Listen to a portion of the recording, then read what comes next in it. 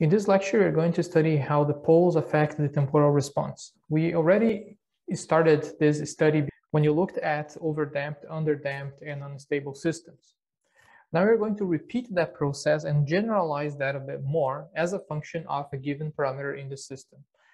That is, we want to know how a certain parameter can affect the location of the poles in the system as that parameter changes over time. That parameter could be a control gain that we can tune or could be a parameter that changes during operation in the system.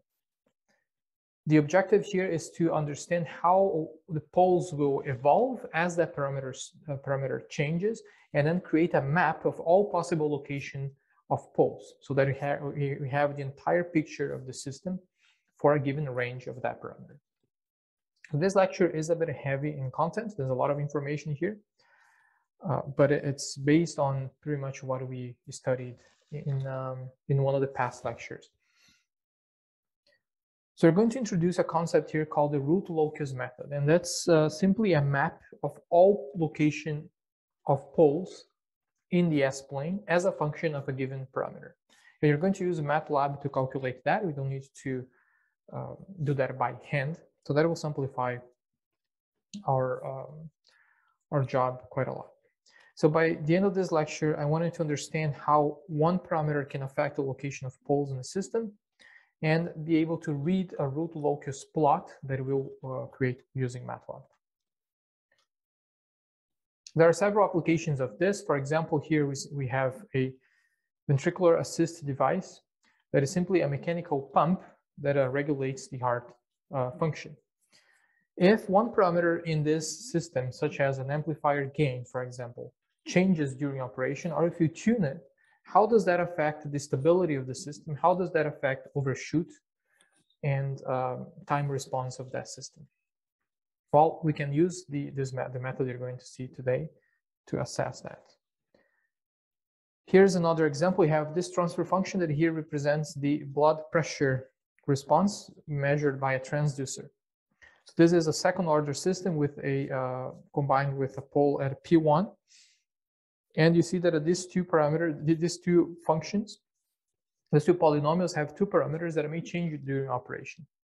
If one of them changes, how does it affect the response of the system? Is the system always stable for a range, that, that range where uh, this parameter is changing? Is there going to be any overshoot and so on? You can, again, see that using the method. Here's another example. Again, we have uh, uh, a transfer function h of s. At this time, we are developing a controller for it. And the controller is the proportional controller k. And this is a uh, representing here a infusion system, a drug infusion system to uh, control the amount of drug in, in the body. If this parameter k changes, how does that affect the response of the system? In this particular example, we want to limit overshoot, for example. We don't want the drug level to go beyond a certain value before it settles what is the limit of k that will have the system with no overshoot, with overshoot, and even make the system unstable.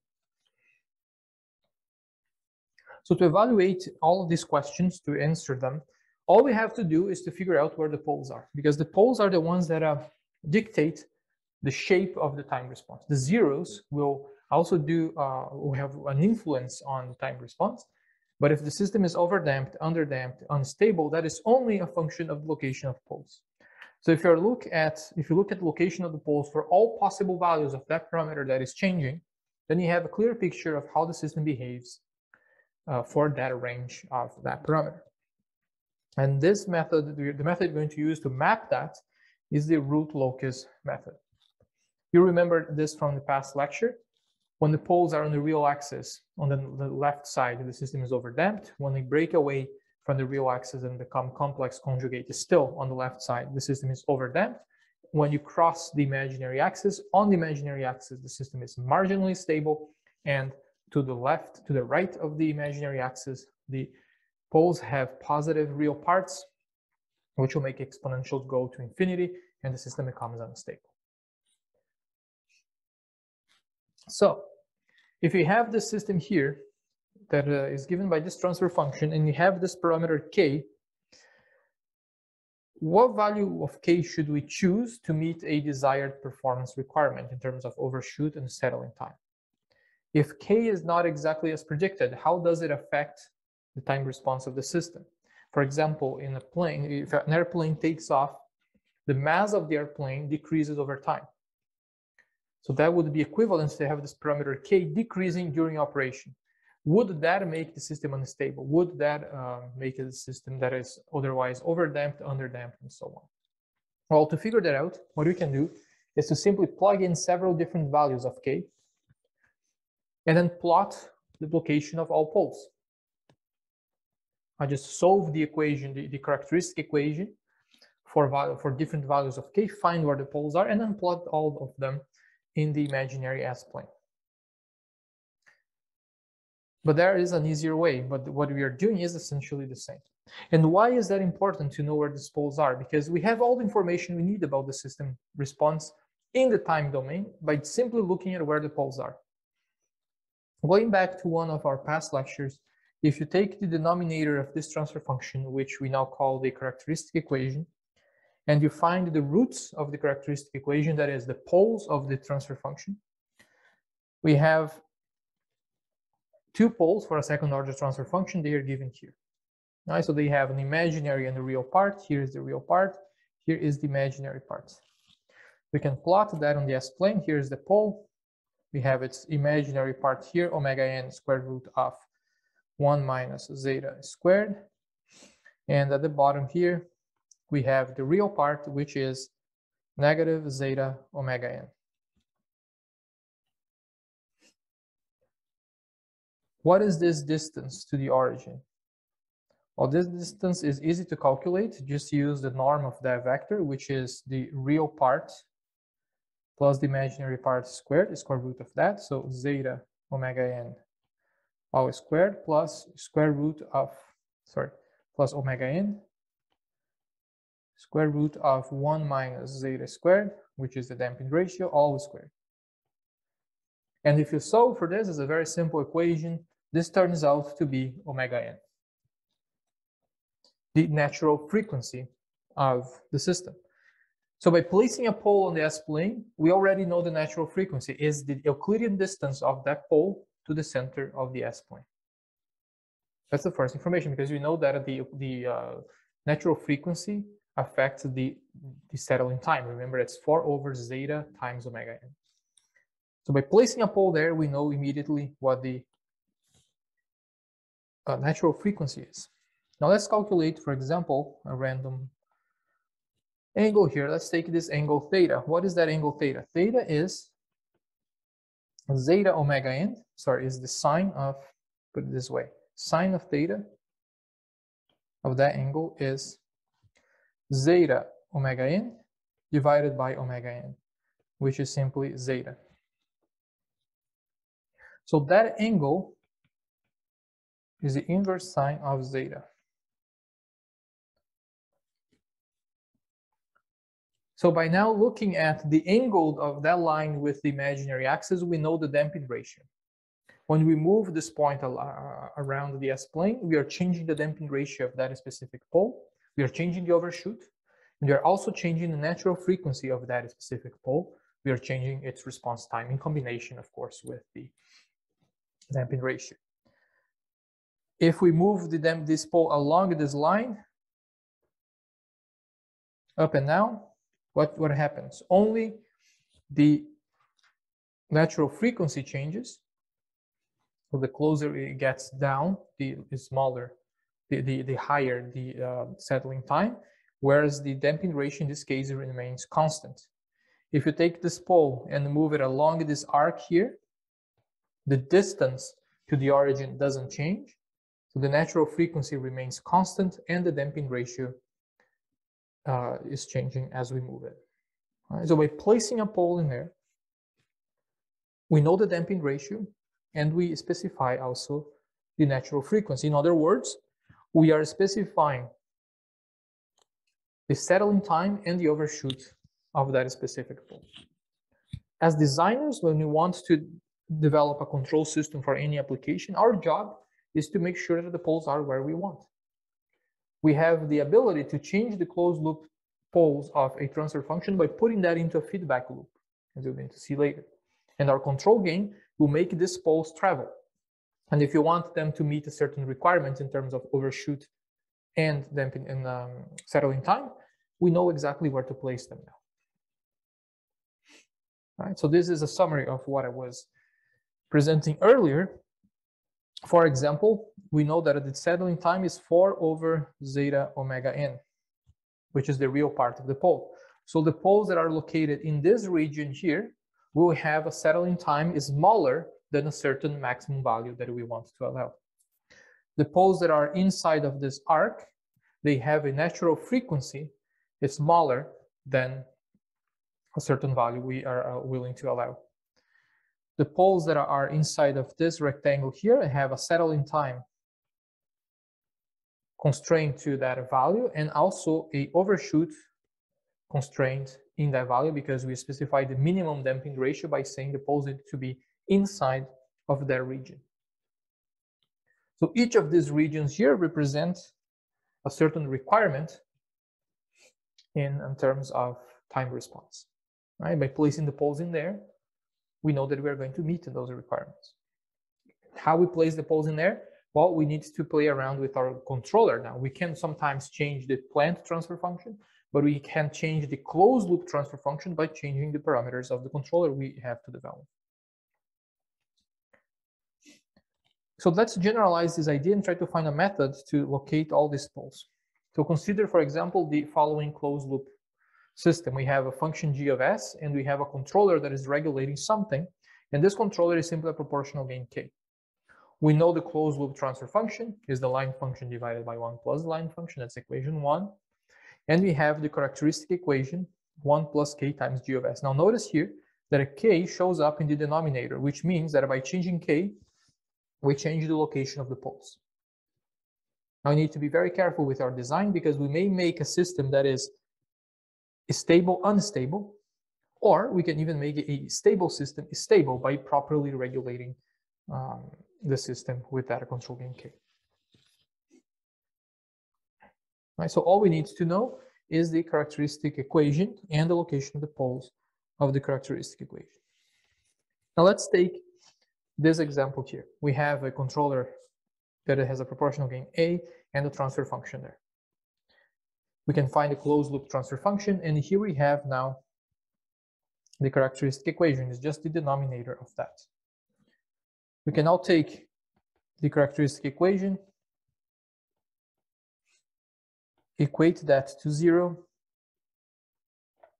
to find the location of all poles as k, as a in this case, varies within a certain range. We could even write this function as a times a ratio of two polynomials, q of s divided by p of s. Each of these are um, are functions of s. In this case, p of s is s times s plus 1. And now we can make this value of a change from 0 to infinity and see what happens, see where the poles go. I'm going to um, modify this a little bit and let's put instead of s uh, one here, let's put an s on top there. Yes. S, S, S, there. So on top here we have S, just for clarity. We have Q of S equals to S and P of S equals to S times S plus 1. We can rearrange this expression. If you multiply everything by P of S, we have P of S plus A Q of S equals to 0. And you could even further manipulate this to have P of S over A plus Q of S equals to zero. All these are the same equation. Where again, Q of S is S, P of S is S times S plus one. Now what happens when S goes to zero, our starting point? When S goes to zero, we can look at this equation here, and you see that this term goes to zero, which means that the poles of the correct, the poles of the transfer function will satisfy P of S equals to zero. P of S in this case uh, is simply s times s plus 1, which means that when a tends to 0, the poles are at 0 because of s, and at negative 1. Okay. Let me actually do something else here. Let me put s plus 2 on top just to avoid canceling out with the other s there. There. So there's no more, there's no way to simplify this equation. s two, S 2. And now what happens to when a tends to infinity? Well, when a tends to infinity, we can look at the last equation in red. And if a is a very large number, now this term goes to 0 and you're left with q of s equals to zero. So when the poles tend to infinity, now the closed loop transfer function, um, or the poles of the closed loop transfer function will satisfy q of s equals to zero. And q of s in this case is s plus two, which means that the pole now is located at negative two. So from this analysis, we can tell, or very conclude something very important. When the poles go, when this controller gain goes to zero, the poles are the poles of P of S, are the poles of the denominator of the characteristic equation.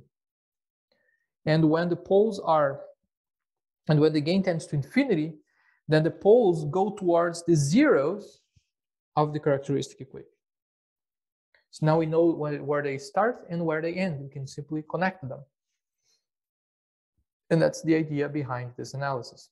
So there is a function in MATLAB that will make this plot for us, but this is where it comes from. By simply realizing that when k goes from zero, or a in this case from zero to infinity, the poles will migrate from the poles to the zeros of the transfer function, of the characteristic equation of the transfer function, which in this, in this case turn out to be exactly the same as the uh, line transfer function here, because you have a unit feedback loop. Sorry, can you repeat what you said for when the gain goes to zero? Yeah, so when the gain goes to zero, the poles goes to uh, the, the a, a goes to zero. The poles are at the zeros, sorry, at the poles of s plus 2, s, s plus 1. And when a tends to infinity, the poles go to the zeros of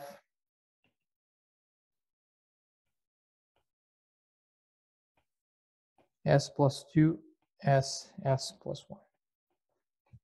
They migrate from the poles towards the zeros right? And wh wh where is this function here? Well, this function comes from the characteristic equation. We need to prepare the characteristic equation in this form. Times, let me call, how did they call this? Call this h of s. This function here, the, the, the poles and zeros of that function is now the starting point for the poles of the closed loop transfer function and the finish point for the, the poles of the closed loop transfer function. They'll travel from the poles towards the zeros of h of s and we need to now prepare the characteristic equation always in that form. 1 plus the parameter that is changing times a function of s. In this particular case, h of s turns out to be the same as the open loop transfer function because uh, the characteristic equation turns out to be exactly like that. Let's do a more concrete example here. Let me take the same example now this one, I'm gonna go back to the one that I had on top here. And we can find the characteristic equation of this system by simply taking the denominator, equating this to zero. This is the characteristic equation. We can find the poles and the, of this transfer function by now finding the roots of equation number three. And what we see here when apply the quadratic equation is that we have a fixed real part.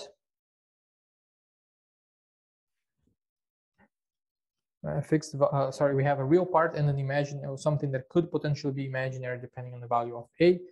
And we will now make a go from zero to infinity well, look what happens to the poles. The poles will start moving towards each other in this case,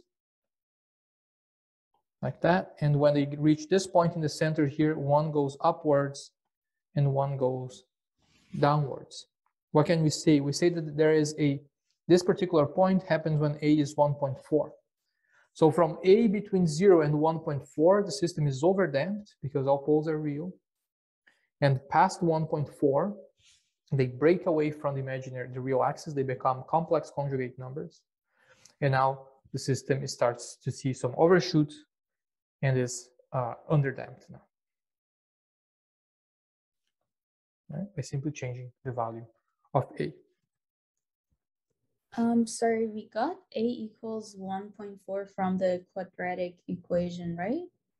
A equals to 1.4. Yeah, so when, when A equals to 1.4, yeah, you can see that in the quadratic equation. This is this term is zero. Right? When A is when A equals to 1.4. So we are left with P1 and P2 at that specific point there, negative one and a half.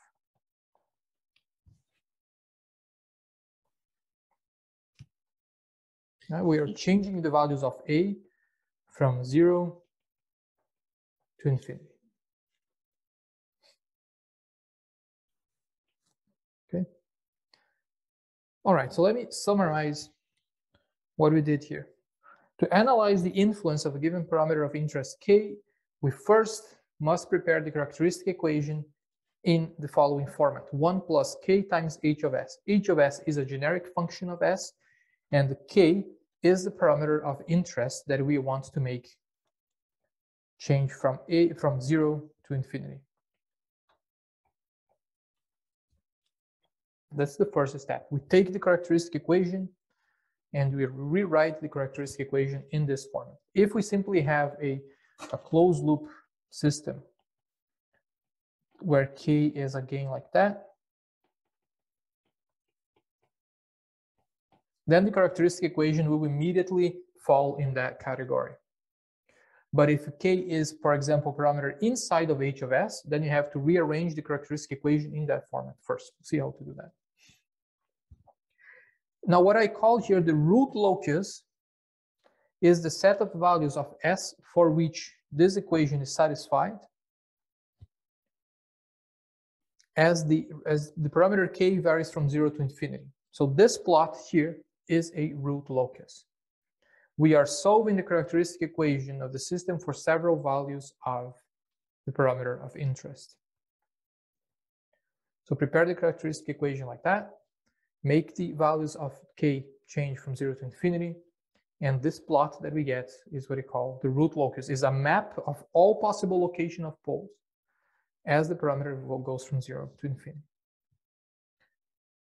What happens if our equation doesn't fall in the category, uh, in, in the format we want? For example, here, we know that it needs to calculate the characteristic equation like that. In this case here, if we find the characteristic equation of this system, the characteristic equation, which is the denominator again of the closed loop transfer function, will have this format.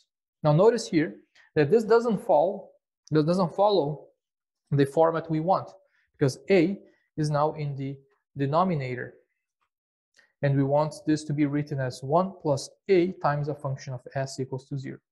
So how do we rearrange it? Well, we can simply multiply everything by the denominator here it is. We can now group terms that have a and terms that don't have a. So the term here that doesn't have a is s squared plus 1. And as is the term that has a. And then we simply divide now everything by the terms that I don't have a, which in this case is s squared plus 1, divided by s squared plus 1. That's the number 1 we want. And then plus a s divided by s squared plus 1 we end up with the equation in the format we want. And now we can make a change from zero to infinity to find the location of poles. So to do this, we're going to use MATLAB. To create this plot on the, right, we're going to use MATLAB. And in MATLAB, all we need to do is a command called r locus of the function h of s. In this case, the function h of s is here. We need to define transfer function like that. We input that in MATLAB as R locus of h of s. And MATLAB understands that what we are trying to accomplish here is to look at the root locus from the standard form, 1 plus a s times s squared plus 1. That's the function we want to analyze. And MATLAB immediately knows that a is the parameter that goes from 0 to infinity. Okay, and once you do that, this is the, the what we get in the output for this particular example here. When a equals to 0, the poles are located here and there, which turn out to be the, so the poles are the poles of the denominator of the transfer function, h of s. Oh, oh, or, let me repeat that. The poles are the poles of h of s. The poles are the poles of h of s. And as now k starts to increase towards infinity, what happens? These two poles will come together and meet at one point here. One of them goes to the zero, that is the zero of h of s. The other one goes to negative infinity. What, what can we say about this system when you look at this plot? Well, several things. We can say that uh, first, the system is initially underdamped, and as k starts to increase, or a in this case starts, starts to increase, there is a point where the system is critically damped, and if we increase k or a even more, the system becomes overdamped now. One pole goes to negative infinity, the other one goes to zero. We can also say that the system never goes unstable. We can increase the control A value A as much as we want, and the system never goes unstable. So there's a lot of information about the system by simply looking at this plot. Are there any questions here? Um, sorry, uh, on this slide, it says um, if k is a is the parameter of interest in the open loop transfer function, but um, the system that we have on the slide isn't open loop. Um, This is a closed loop. Let's let me um, is not the parameter of uh, uh, sorry in the op is not this this sentence is a bit confusing. If k is the parameter of interest in the open loop transfer function. Oh, okay, yeah, no, that this makes sense. If k is a parameter of interest that is in the this is the open loop transfer function. It's just this. The sentence makes sense. Is the open loop transfer function is this. This is the open loop. And the whole thing here is the closed loop.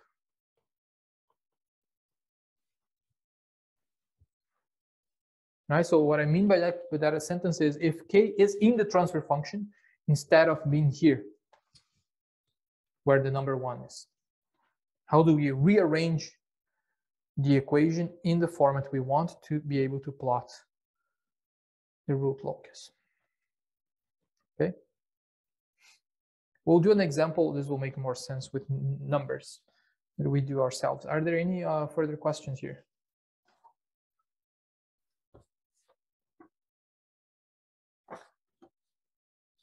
No? All right. So here is a summary of what uh, what we just did. If you want to evaluate the influence of A, write the characteristic equation of the system. This is it. Now rearrange the characteristic equation in the format we want, 1 plus the parameter times a function of s equals to 0. Define the transfer function in MATLAB. This there's a space missing here. Is transfer function of 1, 0, 1, which basically defines s as a transfer function equals to s. We define the equation for this part of the transfer function in MATLAB, and R locus of that now gives us the plot. Right? MATLAB knows that what we are trying to achieve here is to plot the root locus for this function when this parameter goes from zero to infinity. All right, so h of s is that function. R locus of h will plot the location of all poles as that parameter changes. So there are ways to plot this by hand. Uh, there are several rules that these, uh, these plots will follow. But we are going to skip that. We're just going to use MATLAB. If you're interested in how to plot these, I have two recorded lectures that I will take like an hour each to be able to plot the, this in detail, but MATLAB does it, does it better. So let's just use that instead. What we want to achieve here is just to apply the root locus to analyze the root locus for a given system. But these are some of the rules. The most important one that I wanted to retain here is that k, as k varies from zero to infinity, there will be n of certain lines in the root locus, and the, the poles will go from the poles of the correct equation h of s towards the zeros of the equation h of s.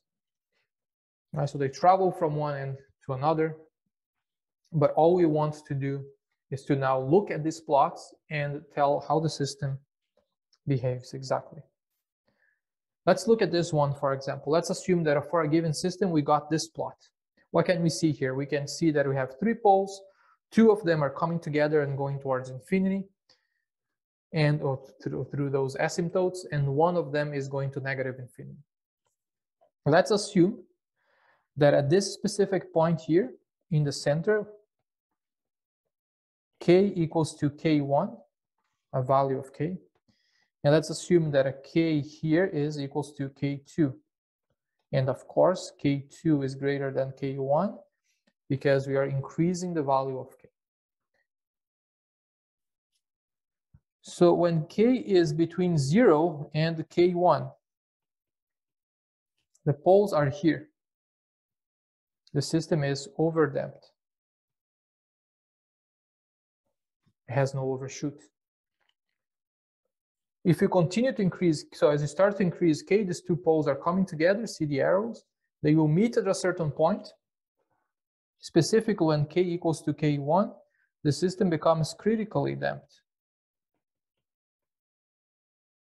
because the two poles will meet in at this point here. What else can you tell here? We can tell that now if you pass K1, if K is greater than K1, but is smaller than K2, how is the system? Is it overdamped, underdamped, unstable, stable, marginally stable? What happens to it?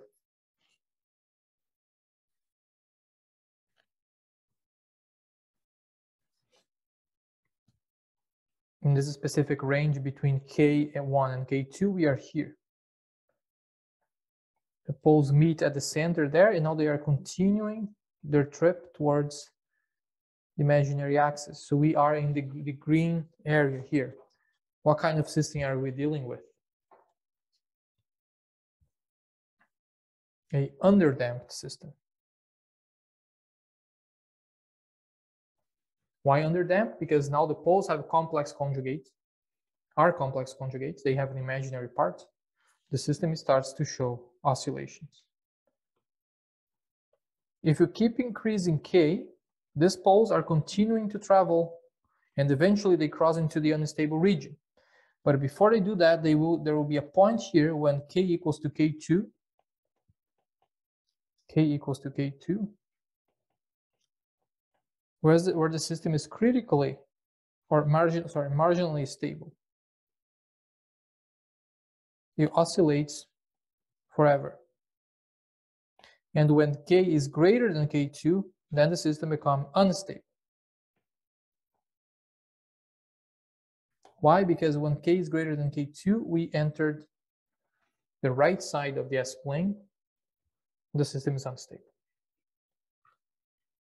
What happens to the other pole there, the one that goes to the negative real axis? Well, that one doesn't really do anything. It's just it just keeps going. The higher k, the farther it gets from the imaginary axis. However, the other two are a bit more problematic because they'll come together and then they will split away from the imaginary, the real axis. They will go towards the imaginary axis and eventually make the system unstable. So for this system, it, the value of k, the value of this parameter of interest, may make the system unstable. Are there any questions? Um, sorry, can you uh, say uh, what where our graph is for the first um, part for overdamped? Yes, so if we are overdamped, the when when you start k is zero, when k is zero, we are here, here, and there. And as k starts to increase, according to this graph, these two poles are going towards each other here, and they will meet in this point. During this entire region here, the system is overdamped because the poles are, all three poles are real. At this specific point, no, k is increasing, k is zero, and then k is increasing. When k is exactly k1, that's a value to be determined later, the poles are meeting right there. So that's the critical point where the system now changes from overdamped to underdamped. So at that point specifically, the system is critically damped. Professor? Okay, and so uh, the um, sorry, uh, so the other the third pole where k equals zero, um, that doesn't um, it's space between that one and k one doesn't count. For the pole that goes to negative infinity, Uh, yes. well, that pole is also do, uh, uh, moving, but when this is when k equals to zero. And as k increases, it just keeps moving to negative infinity. So it the, the, regardless of the value at, at k1 will be somewhere, at k2 it will be somewhere, but it will always be a stable pole, a underdamped, a overdamped pole, a real pole. So that one doesn't really affect much the time response, but the other two are now getting to the imaginary axis and making the system unstable. Okay, so the two poles on the left, the, the, uh, the, the, right poles, they come together, and split away and go to the imaginary axis. The other pole just travels to negative infinity. It's always stable. It's always uh, real. So it's always over overdamped. As a professor, um, in this kind of case, like if the pole is go to negative infinity or it is always in the left hand side, we can see that, or we can ignore the effect on the system. Well, we it, it will have an effect on the system because it will create an exponential. But that exponential, okay. that exponential will decay much faster than the other exponentials that are closer to the imaginary axis as we saw before. Uh, So it, will, it will have its effect. It may be negligible, especially in this case for high values of k, but it, it needs to be accounted for. Okay, but it will not influence the um, stable or unstable because that one always stable, right? Yeah, Okay. And just one one quick question. On the previous slide, there was a list of uh, of characteristics of the root locus method. Yeah. Do we need to memorize all of those? no, we don't need to. Uh, this is these are just uh, rules to show that we can do this by hand. Some characteristics of it is more for information. We are using MATLAB to plot these. Okay, thank you. Yeah. So let's do another one here. This is what we got from another function. This function would be something like 1 plus k times s plus a, s plus b divided by s plus c times s plus d. Something like this. Two poles, two zeros. And when you plot the root locus for this, this is what we get. So now let's analyze this system. What is happening? These two poles, let's remember that when k is zero, we start at the poles. The poles, as k is increased, are coming together to this point. One goes up, one goes down. They meet again here. One goes to this zero, the other one goes to that zero. Interesting. What can we say about this system? Oops. Let's uh, again define a, a gain here. Let's call this k equals to k1. Let's define another gain here because that's where it changed behavior, k equals to k2. And another value here, k equals to k3, where k3 is greater than k2, which is greater than k1. Because the values of k are increasing as we travel along the lines. So for k between 0 and k1, how can you characterize the system? K between 0 and k1 Uh, it's always Unstable. stable. Yes? It's stable. stable, Unstable, I think. unstable, Unst- stable or unstable? It's unstable. It is unstable because this pole is still in the unstable region. So that pole goes towards the, the imaginary axis. This one goes towards that point there. So we have now two poles, but one of them, when k is smaller than k1, is located in the unstable region. The entire system is unstable.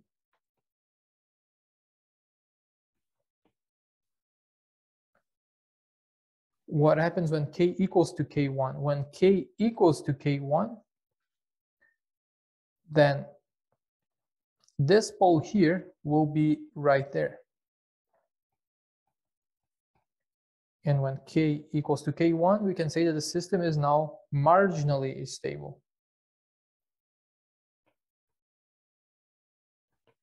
Because you're just crossing into the stable zone now.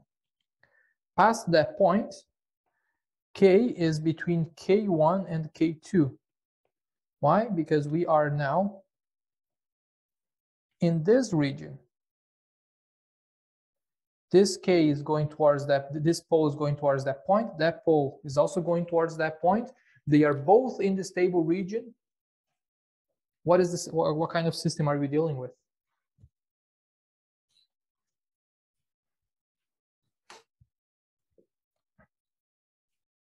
Is the system stable or unstable, first of all?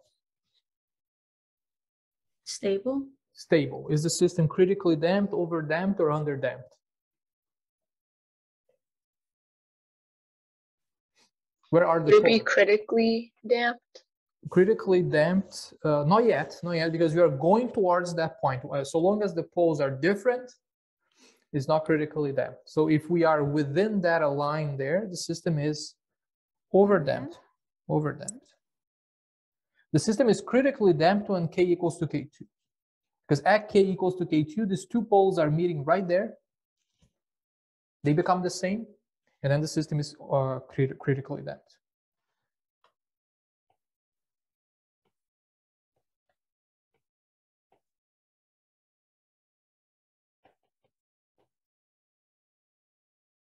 What happens now when k is greater than k2,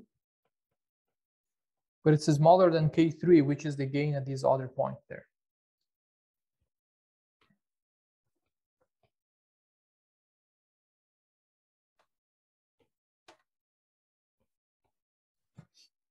Is it under damped? under damped. Where are the poles in that case? Well, the pole, one pole might be up here, the other one might be down there.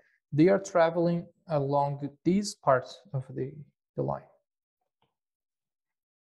One is going up, one is going down. So they both have complex parts.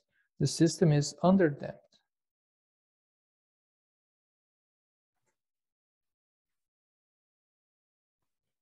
What happens when k is equal to k3?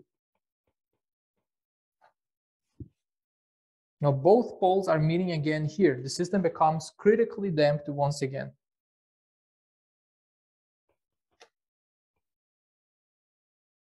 And what happens when k is greater than k3?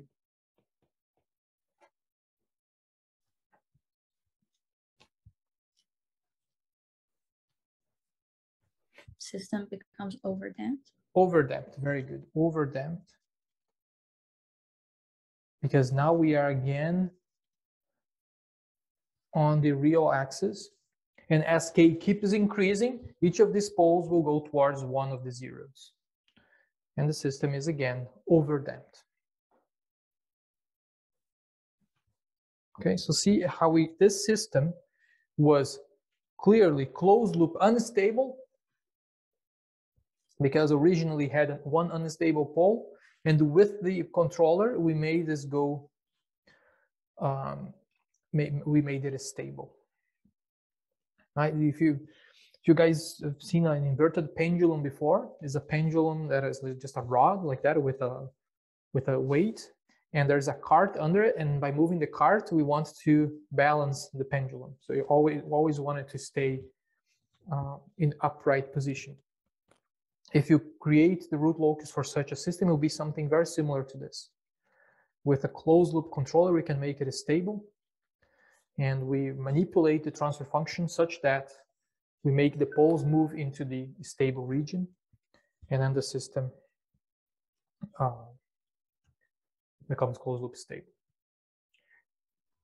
Sorry, you say that um the system is marginally stable, is that the same as saying that is it is undamped?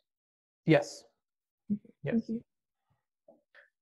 Uh, okay, so there are a few points of interest. The first point is where we cross the imaginary axis. That point we know how to calculate it. We can use the method we saw in the last lecture. There's another point of interest here is the point where these poles break away from the imaginary axis, the real axis and become imaginary because the system goes from overdamped to critically damped. And that's what we call the breakaway point, is where they split away from the, the real axis and become imaginary. Well, to do that is very simple. We can take the transfer function, the characteristic equation of the transfer function like that, and you're simply going to set the value of k to a variable um, called p of s, is a polynomial. In this particular example here, we would have then 1 plus p of s times q of s over p of s equals to 0, and we solve for p of s. And p of s is now negative p over q. If we now plot the values of p of s for all possible values of s, then you will see that it will reach its maximum when it breaks away from the imaginary axis, just before it breaks away from the real axis, excuse me. How do you find the maximum of a function? I'll just take the derivative and set that to zero. So if you now take this function, take the derivative of it and set it to zero, we'll see the point where the function reaches its maximum, which is precisely the point where the function is splits away from the real axis. Let's assume that at this point here, we have, we, we have a point called SB for breakaway. If at that point the system splits away from the imaginary axis, what is the value of the value of k at that specific point? Well, just to replace it back into the original equation, we know that a k equals to p of s. So if we evaluate k at p of sb, this gives us the value of k where it breaks away from the imaginary, from the real axis. Right? So we first find the point where it breaks away, which is not the value of the gain, that's the location on the s-plane. And once that is done, we evaluate the value of k at that point to find it's the value of k that will make it a breakaway. Let's do one example that includes all this, and this will make more sense. Let's take this function here, for example. What is the breakaway point here? Well, we can set p of s, k to p of s, replace it in here, which means that if you rearrange the equation for p of s, we get the polynomial there. You can now multiply this out. Negative s squared plus, uh, what is this, 6s plus 8? Is it? Yep. 2 plus, yep. And you can now take the derivative of p of s with respect to s, and the derivative is 2s plus 6. If you now equate this to 0, the value that it satisfies that is s equals to negative 3. In this case, look, we have two poles, one at negative 4, one at negative 2. They will come together at a given point here, s equals to negative 3, and that's the point where they break away. That's not the value of k, that's the point where they break away. So what is k? Well, k is simply p of s at that point, negative 3. So k is now evaluate this function At negative 3, we have negative negative 3 plus 2, negative 3 plus 4, which gives a value of k of, what is that? Uh, 1, 1. And when k equals to 1, the pole is at negative 3, the system is critically damped, and from that point on, if k now is k is 1.0001, is likely higher than k, we start to see overshoot, the system becomes critically, uh, becomes uh, over underdamped, underdamped. Okay. Let's do one example that has everything combined. One, one last thing that I forgot here. So in this case, we are finding this point, and the point where they meet and then break away. How do we find the points where we become the system becomes unstable? Well, for this part here, we can calculate the critical gain using the method we saw in the last lecture, the Routh-Hurwitz stability criterion. We find the, the gain that it will give in our row of zeros in the Routh-Hurwitz um, stability criteria.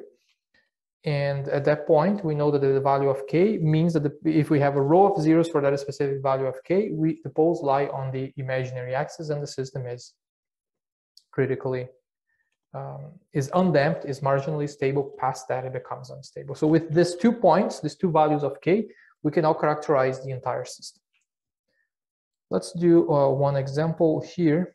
I'm going to start with this one to give you, give you an idea what I want to do. So in this example here, we have the following closed loop control system of a fluid pump where the controller here is simply a function, a proportional gain. Notice something about this plant. This plant is unstable. It has a pole at positive two and has a pole at negative one. One of the poles has a positive real part. The system is, if uncontrolled, is unstable. But we created a closed loop system with a proportional gain k to hopefully stabilize that system.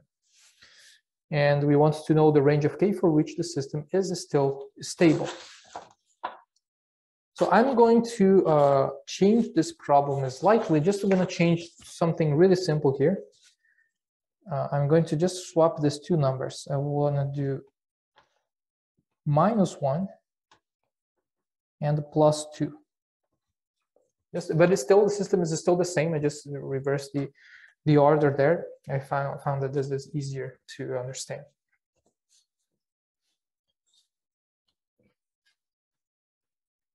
Okay. Now let's do let's do this one. So we want to know the values of k. We need to map the system, you know, the values of k that will make the system overdamped, underdamped, and so on.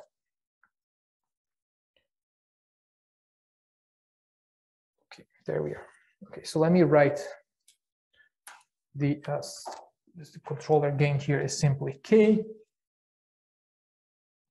And here we have 1 over S minus 1, S plus 2. Oh yeah, that was far from what I, where I wanted it to be. Let me try again. 1 over there s min plus 2s minus 1. So if you want to do the root locus of this system using this plot, this function, to create this plot, you're going to use MATLAB. It's already here just for to make my, my life a little, little easier. What is the characteristic equation of this system? S plus 2 times s minus 1?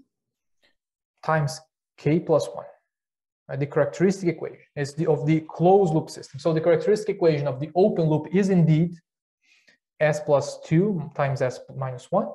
If we close the loop, the transfer function becomes y over r, which is k times s uh, plus 2 s minus 1 divided by 1 plus k s plus 2 s minus 1.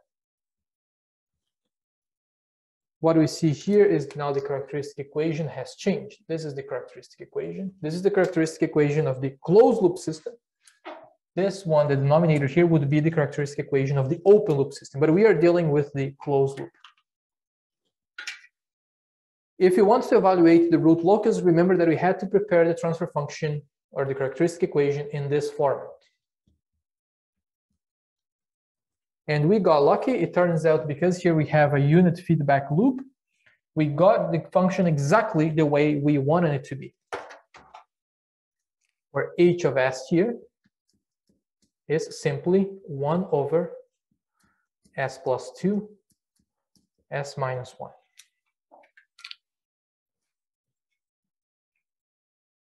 Yeah, are we good?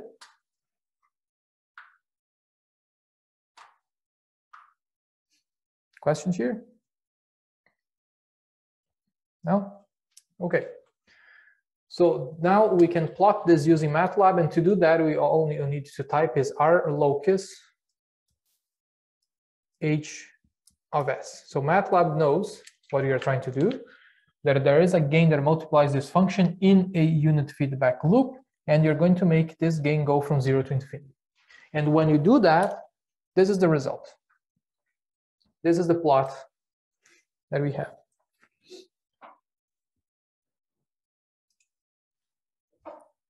We can see the two poles, the pole at negative two, the pole at positive one. We can see that they meet together here some, somewhere and they split up to infinity. What can we say about this system? We can say that the system is originally unstable. You see there's a zero here, a pole that is uh, on the right side of the S-plane and it's coming to the stable zone. This pole is also meeting it there and then they split up. So there are two critical points. Here is one, is from zero, is this point about here, right, is where the pole enters the stable region. And there is another critical point here, is where they split up. One goes up, one goes down.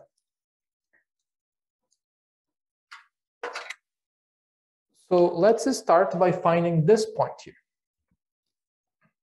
We remember that k is zero, k is zero, we are increasing k, they come together and they split. Let's find this point. To find this point, we need to take the characteristic equation and replace k with p of s. So we have 1 plus p of s times 1 over s plus 2 s minus 1 equated this to 0 so p of s is k. P of s if we rearrange this is going to be negative s plus 2 s minus 1 which is negative what is this s squared plus s minus 1 We can now take the derivative with respect to s. Sorry, for the previous one, isn't it minus 2? Minus 2, yes. Thank you. Minus 2. What is the derivative here? Is 2s plus 1. When you set this to 0, to now find the point where the function reaches its maximum, S is negative 0.5, which is precisely what the plot shows. It shows that they meet at 0.5. This is the breakaway point. This is the point where these two poles are coming together, preparing to become unstable. What is the value of k there? Well, to evaluate k, now remember that a k is p of s because that's how we set here so P of S equals to K.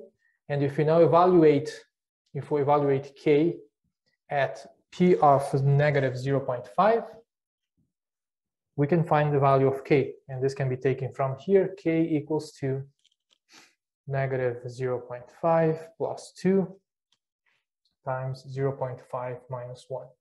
What is the result here?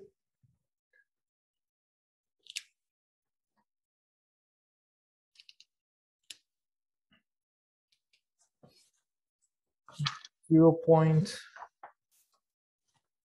2.25? Yeah? I calculated somewhere, I lost it. Yeah, 2.25.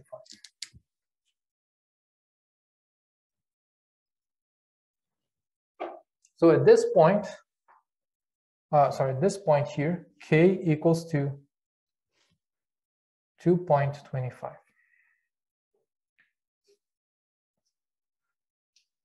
What is this point? Well, this point is the point where the system becomes unstable or, or becomes stable in this case because we enter the stable zone. How do we find it? For that, we can use the Routh-Hurwitz stability criterion from the last lecture. So to do that, we can go back here, take the equation, rewrite this equation, just multiply everything by the denominator there. We have s plus 2, s minus 1, plus k equals to 0. Solve for this, s which is the same as there, s squared plus s minus 2 plus k equals to 0. That's now the characteristic equation.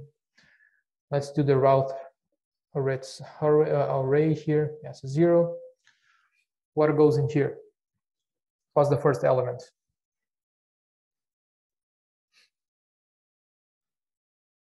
From the last lecture.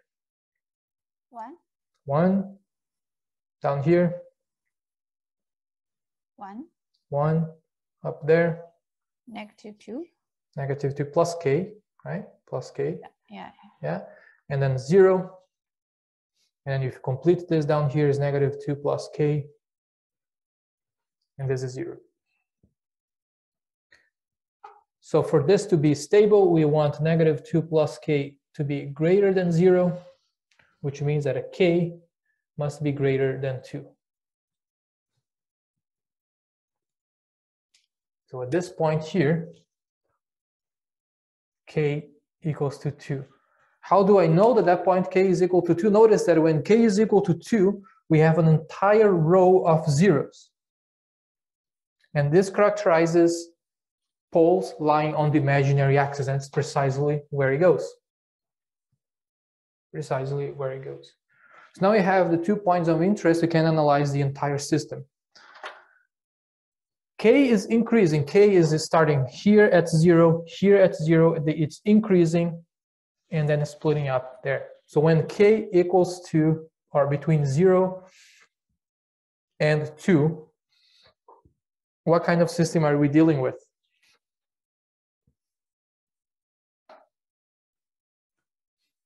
Unstable. Unstable. Very good. Why unstable? Because this pole hasn't reached this point yet. It's somewhere around here.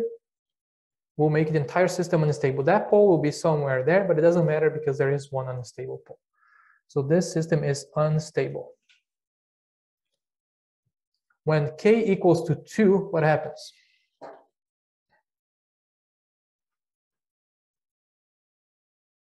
Marginally stable. Marginally stable. When k is now greater than 2, but is smaller than 2.25.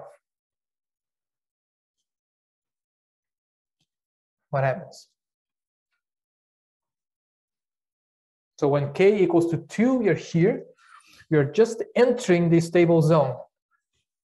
When you reach this point, something else happens, but when k is between 2 and 2.5, 25, what, what is the result? It's a un-overdamped system.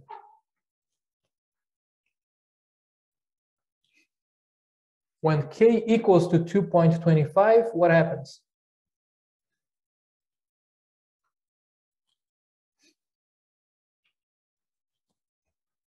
Critically damped. Critically damped, critically damped.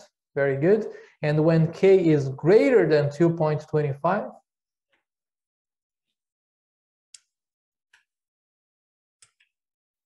then we have a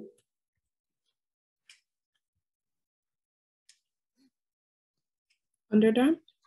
Underdamped, very good, underdamped. Right, because now we passed this point here, the poles are either, one is here, one is there.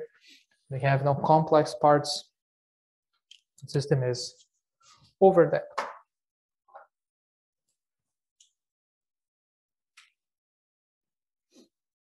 Any questions? Um, sorry, can you just quickly repeat uh, how we got s plus two, s minus one plus k? S plus two. wh- Where? Where? S plus two. So After we got k equals two point twenty-five, we wrote uh, s plus two, um, s minus one plus k. Yeah, there. yeah, so just taking this equation here, equating that to zero. Right, so multiply that and that. Right, like following this equation, basically, you just you have k of uh, this expression here. Let me write it. right? So we have one plus k divided by s plus two s minus one equals to zero, which is the same as s plus two s plus one plus k equals to zero, which is that. Thanks. How come k equals two doesn't look like it's on the imaginary axis, even though it's the crossover point? Yeah, it should be, should be. Um, I, I have a bit of difficulty seeing here, but it should be exactly on the imaginary axis. Okay. I just want to show you guys what happens with the original problem. The original problem was these signs here were swapped. So we had plus, uh, minus, and plus. If it is swapped, then this point where they meet would actually be plus 0.5. S equals to plus 0.5. They would always meet in the unstable region. So this pole there would never leave the unstable region. You know, the system would always be unstable. That's why I changed it. Right? If we swap this the, the, points here, then this point becomes negative 0.5. So the system now has a chance to be stable if you control the gain k. But if it was the other way around, they would actually meet in the unstable region at plus 0.5. So this pole will always be unstable and then the entire system is always unstable regardless of the value of k. Okay, so if that is indeed the case, then we should see uh, something like, I think the only difference would be a negative sign here, meaning that regardless of the value of k, there is always going to be, there always going to be one stable, uh, an unstable system regardless of what we put in there right? So it, it needs to be consistent with the Routh Hurwitz array. I'll post the full solution. Okay. So this lecture has a lot of contents, a lot of information. It will take some time to digest. There is a few more exercises I'm gonna post the solution for.